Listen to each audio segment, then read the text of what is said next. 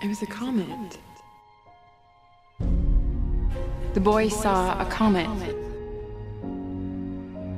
The boy saw the comet, and he felt as though his life had meaning.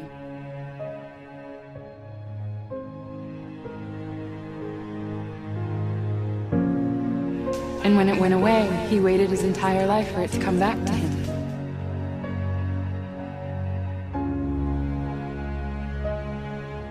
It was more than just a comet because of what it brought to his life direction, beauty, meaning.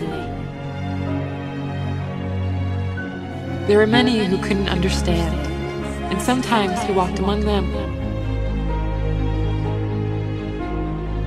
But even in his darkest hours, he knew in his heart that someday it would return to him. And his world would be whole again. And his belief in God and love and art would be reawakened in his heart.